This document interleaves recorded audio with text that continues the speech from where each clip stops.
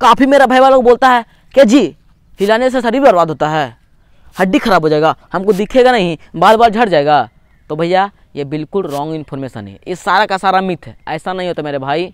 ये तभी पॉसिबल होगा ना जब एक्सरसाइज करते हैं तब। यानी हफ़्ता में आठ दिन, दस दिन, पंद्रह दिन कर रहे हैं।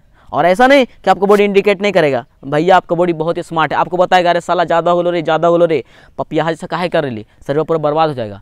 तो जब आपकी बॉडी इंडिकेट करती है तो भैया समझिए कि आप खतरे घंटी में जा रहे हैं। अब मेरा मानना यही है कि अगर आप नहीं करते हैं ना भैया तो ज़्यादा अच्छा है।